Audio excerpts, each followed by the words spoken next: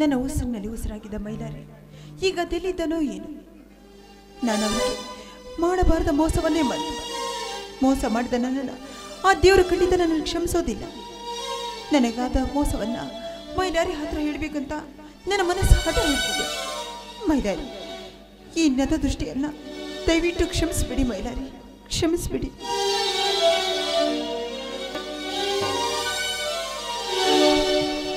ಗೀತಾ ಗೀತಾ! ಬನ್ರಿ ಏನಾಯ್ತು? ನೋಡು ಗೀತಾ ನಿನಗೇನು ತಂದಿದ್ದೀನಿ ಅಂತ?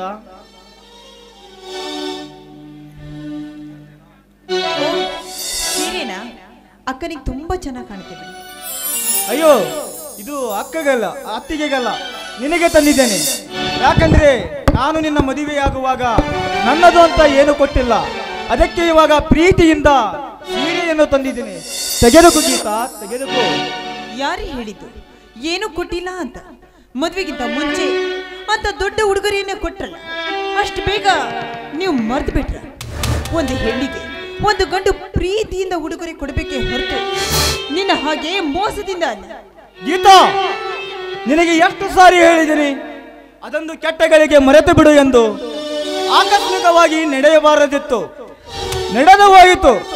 ಅದನ್ನೇ ಮನಸ್ಸಲ್ಲಿಟ್ಟುಕೊಂಡು ಯಾಕೆ ನಿನ್ನ ಆರೋಗ್ಯವನ್ನು ಹಾಳು ಮಾಡಿಕೊಳ್ಳುತ್ತೀಯಾ? ಇದರಿಂದ ನಿನಗೂ ಏನು ಸುಖ ಇಲ್ಲ? ನನಗೂ ಏನು ಸುಖ ಇಲ್ಲ. ನನಗೆ ಚೆನ್ನಾಗಿ ಗೊತ್ತು. ಇದರಿಂದ ಸುಖ ಇರುವುದು ನಿನಗೆ ಹೊರತು ನನಗಲ್ಲ. ಹ್ಞೂ ನನಗೆ ಗೊತ್ತು ಗೀತಾ. ನೀನು ಮನಸ್ಸಿಲ್ಲದೆ ನನ್ನ ಮದುವೆಯಾಗಿದ್ದು ಅಂತ ನನಗೆ ಚೆನ್ನಾಗಿ ಗೊತ್ತು. ಆದ್ರೆ ಏನು ಮಾಡುವುದು? ನಿನ್ನ ಮದುವೆಯಾಗದೆ ವಿಧಿನೇ ಇರಲಿಲ್ಲ. ಅದಕ್ಕೆ ನೀನು ಈ ರೀತಿ ನನಗೆ ಅನ್ಯಾಯ ಮಾಡುವುದು. ತಪ್ಪು ಗೀತಾ ತಪ್ಪು.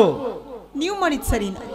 ನನ್ನ ಆಸೆ ಆಕಾಂಕ್ಷೆಗಳನ್ನ ಒಂದೇ ಒಂದು ಕ್ಷಣದಲ್ಲಿ ನೂರು ಮಾಡಿದ್ರ ಅದು ಸರಿನಾ? ನನ್ನ ಹೃದಯವನ್ನೇ ಸೀಳಿ ಕಿತ್ತಿಸ್ತು.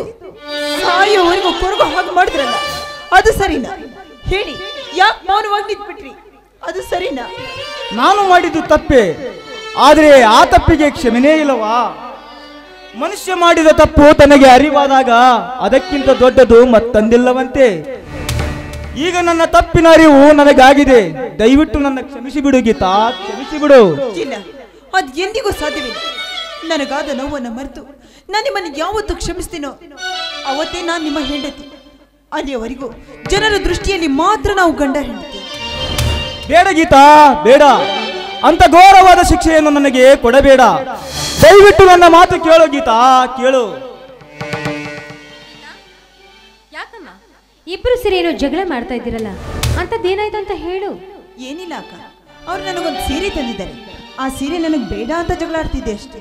ಗೀತಾ ಇದು ತಪ್ಪಲ್ವೇನಮ್ಮ ಗಂಡ ಪ್ರೀತಿಯಿಂದ ಸೀರೆ ತಂದುಕೊಂಡ್ರೆ ಅದನ್ನು ಸಂತೋಷನ ಸ್ವೀಕಾರ ಮಾಡೋದನ್ನ ಬಿಟ್ಟು ಈ ರೀತಿ ಜಗಳ ಮಾಡ್ತಾ ಇದೆಯಲ್ಲ ಇದು ಸರಿನಾ? ಅಕ್ಕ ಈಗ ಅವ್ರು ನನ್ನ ಮದುವೆ ಆಗಿದ್ದಾರೆ. ಅದಕ್ಕೆ ನನಗೆ ಸೀರೆ ತಂದ್ಕೊಳ್ತಿದ್ದಾರೆ ಇದಕ್ಕಿಂತ ಮೊದಲು ನಾನು ಸೀರೆನೇ ಉಡ್ತಿರ್ಲಿಲ್ವಾ? ಅಥವಾ ನನ್ನ ತಂದೆ ತಾಯಿ ನನಗೆ ಸೀರೆನೇ ಕೊಡಿಸ್ತಿರ್ಲಿಲ್ಲ? ಗೀತಾ ಸೀರೆ ಬಗ್ಗೆ ತಪ್ಪಾಗಿ ಮಾತನಾಡಬೇಡ. ಯಾಕೆಂದ್ರೆ ಒಂದು ಹೆಣ್ಣಿನ ಮಾನ ಮರ್ಯಾದೆ ಕಾಪಾಡುವ ವಜ್ರ ಕವಚ ಅಂದ್ರೆ ಈ ಸೀರೆ. ನಿನ್ನ ತಂದೆ ತಾಯಿಗಳು ಕೊಡಿಸೋ ಸೀರೆ ಅವರು ಬದುಕಿರೋ ತನಕ ಮಾತ್ರ. ಆದ್ರೆ ಅದೇ ನಿನ್ನ ಗಂಡ ಕೊಡಿಸೋ ಸೀರೆ ನಿನ್ನ ಜನ್ಮ ಇರೋ ತನಕ ಈ ಮಣ್ಣಲ್ಲಿ ಮಣ್ಣಾಗಿ ಹೋಗೋ ತನಕ.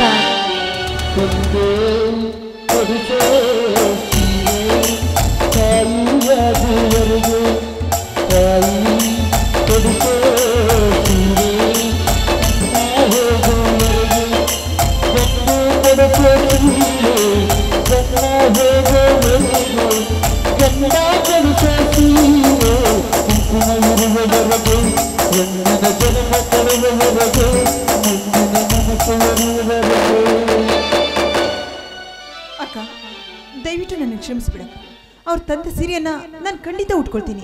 ಆದ್ರೆ ಆದ್ರೇನು ಗೀತಾ? ಈ ಸೀರೆಯನ್ನಲ್ಲ ಅವ್ರ ಸ್ವಂತ ದುಡಿಮೆಯಿಂದ ದುಡ್ದು ಅವ್ರ ಹಣದಿಂದ ಯಾವತ್ತು ಸೀರೆ ತರ್ತಾರೋ ಅವತ್ತು ನಾನು ಆ ಸೀರೆಯನ್ನು ಉಟ್ಕೊಳ್ತೀನಿ ಅಕ್ಕ. ಅಂದ್ರೆ ಗೀತಾ ನಿನ್ನ ಮಾತಿನ ಅರ್ಥ?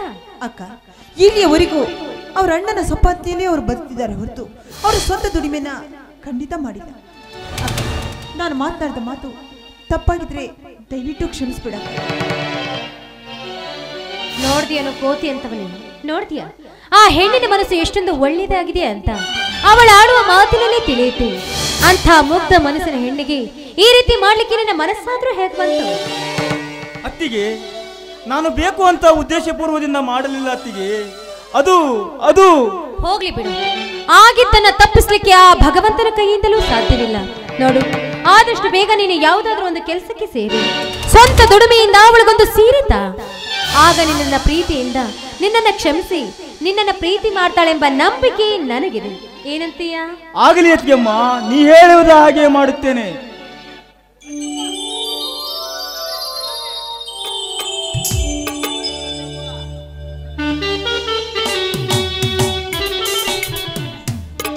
ಜಾನಕಿ ಜಾನಕಿ ನೋಡು ಯಾರನ್ನು ಕರೆದುಕೊಂಡು ಬಂದಿದ್ದೇನೆ ಅಂತ ಮೈಲಾರಿ? ಹೇಗಿದೆಯೋ ಚೆನ್ನಾಗಿದೆಯಾ ನಾನು ಆ ರಾಜಕಾರಣಿಗಳ ವ್ಯಕ್ತಿನ ಎದುರು ಹಾಕೋಬೇಡ ಅಂತ ಪದೇ ಪದೇ ನಾನು ಹೇಳಿದ್ರು. ನನ್ನ ಮಾತನ್ನು ಲೆಕ್ಕಿಸದೆ ಮತ್ತೆ ಜಗಳಕ್ಕೆ ಕೈ ಹಾಕಿದೆಯಲ್ಲೋ? ನಾನು ಆ ಗೌಡನ ಗುಲಾಮಗಿರಿಗೆ ಹೆದರಿ ನಮ್ಮ ಹೊಲವನ್ನು ಕೊಡುವುದಿಲ್ಲ ಅಂತ ಹೇಳಿದ್ದೆ ತಪ್ಪಾಯ್ತಾ? ಒಂದು ವೇಳೆ ನಾನು ಮಾಡಿದ್ದು ತಪ್ಪು ಅನ್ನುವುದಾದ್ರೆ ಈಗ ಅಣ್ಣ ಮಾಡಿದ್ದು ತಪ್ಪಲ್ಲವೇ? ಏನು? ನಿಮ್ಮಣ್ಣ ತಪ್ಪು ಮಾಡಿದ್ರಾ? ಅಂತದ್ದೇನು? ಅದೇ ನಮ್ಮ ಮದುವೆ ಸೇರುವುದು ಅಲ್ಲವೇ ಅಣ್ಣ? ಛೇ ಛೇ. ಅದಕ್ಕೇಕೆ ನಾನು ತಪ್ಪು ಅಂತ ತಿಳಿದುಕೊಳ್ಳಲಿ ಸನ್ನಿವೇಶ? ಅದೇನೋ ಅರ್ಜೆಂಟ್ ಆಗಿ ಬಂತು ನಾವೇ ಮುಂದೆ ನಿಂತು ಮದುವೆ ಮಾಡಿದ್ವಿ ಅಂತ? ಅಣ್ಣ ದಾರಿಯಲ್ಲಿ ಬರಬೇಕಾದ್ರೆ ಎಲ್ಲ ವಿಷಯ ನನಗೆ ಹೇಳಿದ. ಆಗ ನನ್ನ ಮನಸ್ಸಿಗೂ ಸ್ವಲ್ಪ ನೋವಾಯಿತು. ಇದ್ದ ಒಬ್ಬ ತಮ್ಮನ ಮದುವೆಯಲ್ಲಿ ಇರ್ಲಿಕ್ಕಾಗಲಿಲ್ಲವಲ್ಲ ಅಂತ ಮನಸ್ಸು ಕೊರಗಿತ್ತು. ಅಣ್ಣ! ಆದರೆ ದೇವರಂತಿರುವ ನನ್ನ ಅಣ್ಣ ಅತ್ತಿಗೆರೆ ಮುಂದೆ ನಿಂತು ಮದುವೆ ಮಾಡಿರುವಾಗ ಅದಕ್ಕೇಕೆ ನಾನು ತಪ್ಪು ಅಂತ ತಿಳಿದುಕೊಳ್ಳಲಿ ಸಂಗಮೇಶ ನಾನು ಹೀಗೆ. ಅಣ್ಣ! ದಯವಿಟ್ಟು ನನ್ನ ಕ್ಷಮಿಸಿ ಬಿಡಣ್ಣ. ನೀನು ಇಲ್ಲದೆ ನಾನು ಮದುವೆಯಾಗಿರುವುದು ನಂದು ತಪ್ಪೆ. ಆದ್ರೂ ಏನು ಮಾಡುವುದು? ಎಲ್ಲ ವಿಧಿ ಬರಹ ನಡೆದು ಹೋಯಿತು ಅಣ್ಣ. ಸಂಗಮೇಶ ಅದಕ್ಕೆ ನೀನು ವ್ಯಥೆಪಟ್ಟುಕೊಂಡು ಮಾತನಾಡುತ್ತೀಯಪ್ಪ? ಹೋಗ್ಲಿ ಬಿಡು. ನಡೆದಿದ್ದೆಲ್ಲ ಒಳ್ಳೆಯದಕ್ಕೆ ಎಂದು ತಿಳಿದು ಮುಂದೆ ಚೆನ್ನಾಗಿ ಬಾಳಿದರಾಯ್ತು. ಮೈಲಾರಿ ಆಗಿ ಮಾತಿನ ಬರದಲ್ಲಿ ನಿಮ್ಮಣ್ಣ ತಪ್ಪು ಮಾಡಿದ್ರು ಅಂತ ಹೇಳ್ದಿಯಲ್ಲ? ಅದ್ಯಾವ ತಪ್ಪು ಮಾಡಿದ್ರು ಅಂತ ನನ್ನ ಮುಂದೆ ಹೇಳು. ಅತ್ತಿಗೆ ಬಾ ನಾನು ಯಾವುದನ್ನು ಉಳಿಸಿಕೊಳ್ಳಬೇಕೆಂದು ಜೈಲಿಗೆ ಹೋದನು. ಈಗ ಈಗ ಅದೇ ಆಸ್ತಿಯನ್ನು ಮಾರಾಟ ಮಾಡಿ ನನ್ನನ್ನು ಬಿಡಿಸಿಕೊಂಡು ಬಂದಿದ್ದಾನಮ್ಮ ಈ. ಮೈಲಾರಿ ಏನು ಹೇಳ್ತಿದ್ಯಪ್ಪ ನೀನು? ಕೇಳಿ ಅತ್ತಿಗೆ ಅಣ್ಣನನ್ನು ನೀವೇ ಕೇಳಿ. ಹೇಳ್ರಿ ನಿಮ್ಮನ್ನೇ ಕೇಳ್ತಾ ಇದ್ದೀನಿ ಅವ್ರು ಹೇಳೋ ಮಾತು ನಿಜವೇನ್ರಿ? ಹೇಳ್ರಿ. ಹೌದು ಜಾನಕಿ ಹೌದು. ಈ ನನ್ನ ತಮ್ಮ ಮೈಲಾರಿ ಹೇಳುತ್ತಿರುವ ಮಾತು ನಿಜಾನೇ ಇದೆ. ಈ ತುತ್ತು ಕೊಟ್ಟ ರೈತರಿಗೆ ಕುತ್ತು ತಂದು ಬಿಟ್ಟರು ಆ ಕದಿ ತೊಟ್ಟ ಕದಿಮರು. ಹೌದು ಈ ನನ್ನ ತಮ್ಮ ಹೇಳುತ್ತಿರುವ ಮಾತು ನಿಜಾನೇ ಇದೆ. ಎಂಥ ಕೆಲಸ ಮಾಡ್ಬಿಟ್ರಿ ನೀವು? ಎಂಥ ಕೆಲಸ ಮಾಡ್ರಿ? ನಮ್ಮ ಜೀವನಕ್ಕೆ ಆಸ್ತಿ ಅಂದ್ರೆ ಅದೊಂದು ಹೊಲ. ಅದನ್ನೇ ಮಾರಿ ಬಂದಿದ್ದೀರಲ್ಲ? ಮುಂದೆ ನಾವು ಬದುಕುವುದಾದ್ರೆ ಹೇಗ್ರಿ? ಜಾನಕಿ, ತಿಳಿಯದೆ ಏನೇನೋ ಮಾತನಾಡಬೇಡಿ.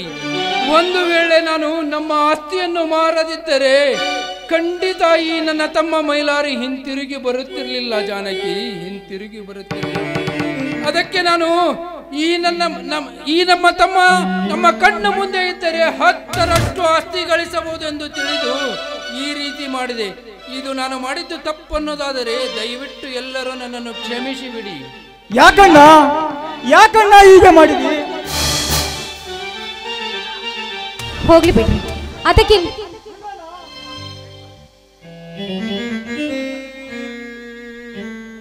ಮೈಲಾರಿ ಹೋಗ್ಲಿ ಬಿಡಿ ನಿಮ್ಮ ಅಣ್ಣ ಮಾಡೋದ್ರಲ್ಲಿ ತಪ್ಪೇನಿಲ್ಲ. ನೀನು ವಾಪಸ್ ಮನೆಗೆ ಬಂದಿಯಲ್ಲ? ನಮಗಷ್ಟೇ ಸಾಕು. ನೀನು ಒಬ್ಬನೇ ಇದ್ರೆ ಇಂಥ ಹತ್ತು ಪಟ್ಟು ಆಸ್ತಿನ ಗಳಿಸಬಹುದು. ಹೇಗಿದ್ರೂ ಹಣ ಇದೆ. ಮತ್ತೊಂದು ಹೊಲವನ್ನು ಸಂಪಾದನೆ ಮಾಡಿದ್ರಾಯ್ತು. ಆ, ನಿನ್ನ ತಮ್ಮನ ಹೆಂಡತಿ ಒಳಗಡೆ ಇದ್ದಾಳೆ. ಆರತಿ ಮಾಡ್ಲಿಕ್ಕೆ ಕರಿತೀನಿ. ಗೀತಾ! ಸರಿ ಅತ್ತಿಗೆ. ಆದಷ್ಟು ಬೇಗ ಬನ್ನಿ.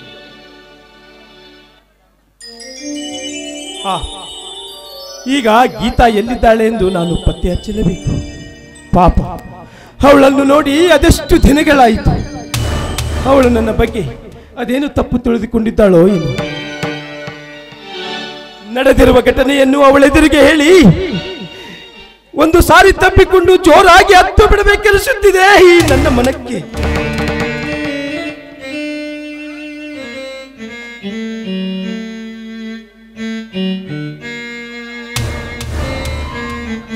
ನೋಡಿ, ಸ್ವಲ್ಪ ಈ ಕಡೆ ತಿರುಗಿ. ಆರತಿ ಮಾಡ್ತೀನಿ.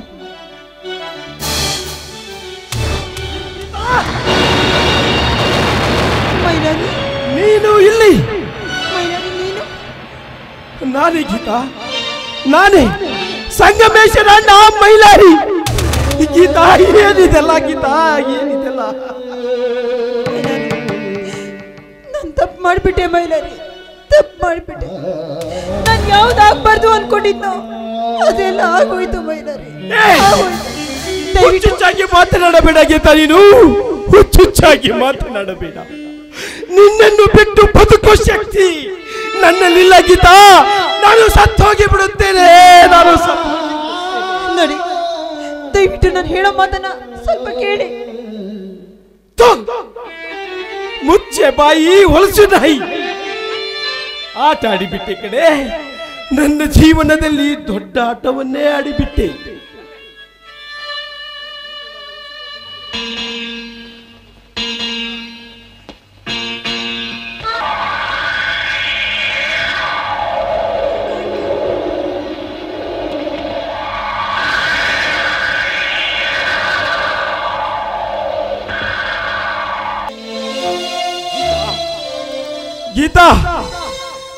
ನೀನು ನನ್ನ ಉಸಿರು ಅಂದುಕೊಂಡಿದ್ದೆಲೆ ಗೀತಾ?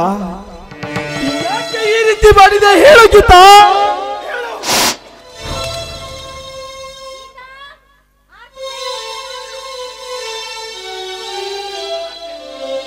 ಹಾ ಆಯ್ತಕ್ಕ.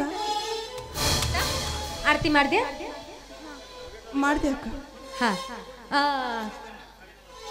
ನೋಡಪ್ಪ ಮೈಲಾರಿ ಇವಳು ಸಂಗಮೇಶನ ಹೆಂಡತಿ ಗೀತಾ ಅಂತ. ತುಂಬಾ ಒಳ್ಳೆಯವಳು. ಆ, ನಮಸ್ಕಾರ. ಇವರು ನಿನ್ನ ಗಂಡನ ಅಣ್ಣ ಅಂದ್ರೆ ನಿನಗೆ ಭಾವ. ನಮಸ್ಕಾರ. ಸರಿ ಹೊತ್ತಾಯ್ತು. ಊಟ ಮಾಡುವರಂತೆ ಬರಪ್ಪ ಒಳಗಡೆ.